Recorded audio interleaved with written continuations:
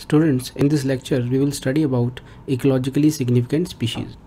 इन species का बहुत ज़्यादा significance होता है ecological point of view से So different terms we will use like keystone species, flagship species, umbrella species, foundation species, indicator species, etc.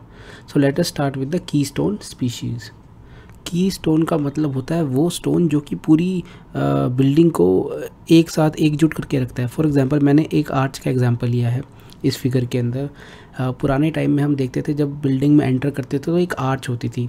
वो arch क्या है? डिफरेंट स्टोन से बनती थी। These brackets these brackets are nothing but stones तो उसमें जो ये बीच का स्टोन होता था that is the keystone ये बहुत ही क्रिटिकल स्टोन होता था। अगर इस स्टोन को हटा दिया जाए then the whole arch will collapse In a similar way, if the keystone species is removed from the environment, then the whole ecological system will disrupt. The entire ecosystem will collapse. If a keystone animal is removed from the forest, then the whole forest will collapse. The other species will disappear. One of the best example of keystone species is starfish. Starfish is a very very important species in the rock and sea type of interface sea में क्या है? छोटे छोटे planktons होते हैं। और इन planktons को ईट करने के लिए जब सी और रॉक का इंटरफेस हमें देखने को मिलता है तो यहाँ पर छोटी छोटी स्पीशीज़ अपने आप को अटैच कर लेती हैं इस रॉक की सरफेस पे। फॉर एग्जांपल यहाँ पर different species will attach themselves so that they can eat the they can easily eat the planktons तो ये मरीन स्पीशीज़ अपने आप को रॉक से इसलिए अटैच करती हैं कि जब भी प्लैंकटन्स जैसे ही पानी रॉक से टकराएगा पानी के अंदर प्लैंकटन्स होंगे and these species can eat on the planktons planktons क्या होते हैं? छोटे छोटे बहुत ही छोटे छोटे माइक्रो प्लांट्स होते हैं। So these are the foods these planktons are the food for these marine species In such situations, there are also certain larger species like mussels. These mussels are big species. They will come and they will attach themselves to the wall. These are big species. They will attach themselves to the wall and they won't leave any space for the other species because mussels also want to eat the planktons.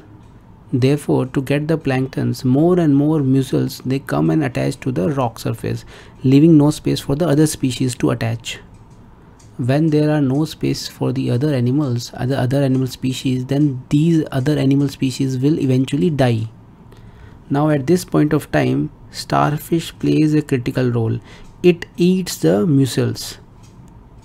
And when mussels are being eaten by starfish space is created on the rock surface and other species can attach themselves to the rock. Therefore it is the starship starfish which through its action of eating mussels is providing space to other animal species so that they can attach to the rock surface and then they can also eat the planktons.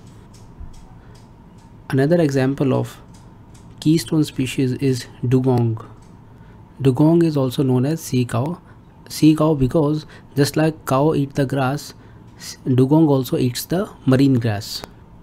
These sea cows और dugong are found in Andaman Nicobar region और the gulf of Munnar region between India and Sri Lanka there is a gulf which is known as gulf of Munnar so this is gulf of Munnar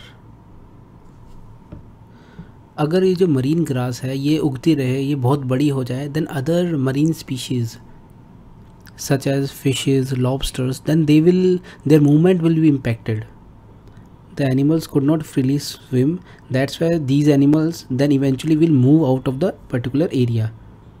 When dugong come it eats all the grass and it cleans the area so that other animals other animal species marine animal species can come and stay there. Therefore dugong is providing key, a space to other marine species. Therefore dugong is also an example of keystone species Next important concept is flagship species. Flagship species they act as ambassador or icon or symbol for a defined habitat. For example, one horned rhino is uh, an ambassador for the Kaziranga National Park. Therefore, one horned rhino is acting as a brand ambassador for the Kaziranga National Park these species they have certain kind of charismatic appeal that's why they are uh, used as flagship species of a particular habitat particular place. Similarly, swamp deers found in the uh, in the in Madhya Pradesh in the Kanha National Park are also flagship species of Kanha National Park. Swamp deers are also known as Barasingha. Now the next important concept is umbrella species. What are umbrella species? These species, umbrella species, they generally have a very large geographical area and these species keep on migrating from one area to another areas and in order to protect these species the government usually they usually announce the entire area where these species move and migrate as a protected area तो इसके पीछे concept ये है कि अगर हमने इतने बड़े एरिया को अगर प्रोटेक्ट कर लिया तो दैट इट सेल्फ मीन्स कि हमने इनडायरेक्टली बाकी दूसरी जो स्पीशीज़ है, उनको भी प्रोटेक्ट कर लिया, जो कि उस एरिया के अंदर सर्वाइव करती हैं। For example elephant can be termed as umbrella species they migrate from one area to another area they move from one area to another area and if we protect the whole area then we protect the whole ecosystem other examples are Gangetic dolphin और snow leopards now the next concept is foundation species As the name denotes, foundation species are very critical to a particular area or a particular ecosystem. They are the foundation, they are the bedrock of existence of other species.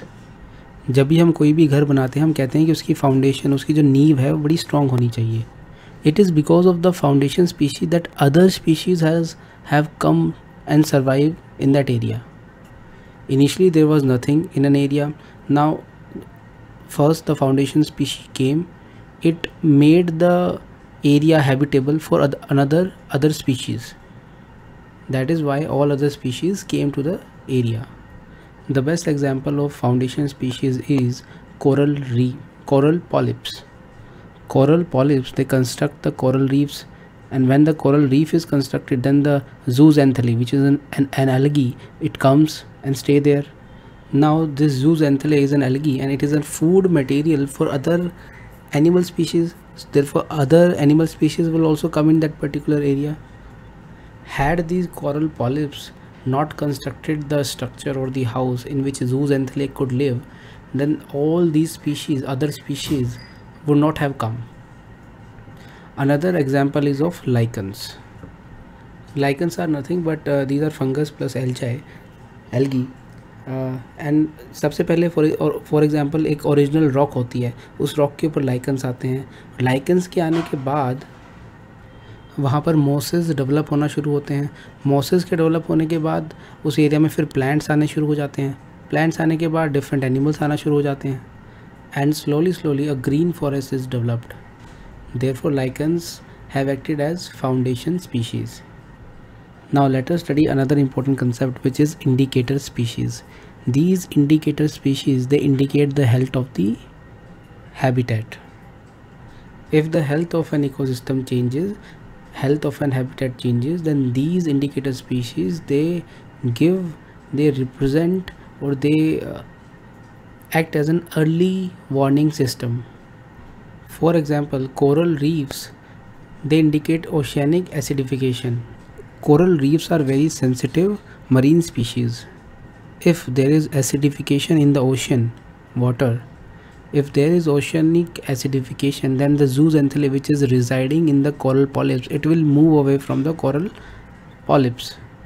And the color of the corals will change. Earlier if zooxanthellae is there then the it will be multicolored. The coral coral reefs are of multiple colors. And if zooxanthellae moves away then coral reef will turn white. This is nothing but leaching of coral reefs.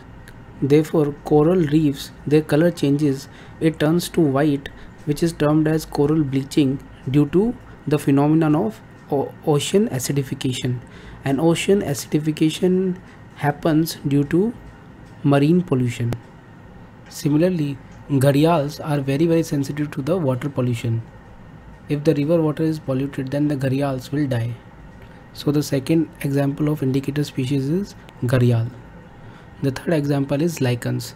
If air is polluted with sulfur dioxide, then lichens will die in that particular environment. Another example is that of canary birds. Canary birds are helpful, useful in detecting poisonous gases in the coal mines. When a canary starts shaking their cages or stops singing, then it signals to the miners that methane is present in the environment. And coal miners they evacuate the area immediately.